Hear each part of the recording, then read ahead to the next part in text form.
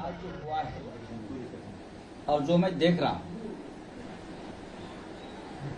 मैं उसे national Shem राष्ट्रीय शर्म की बात मानता हूँ।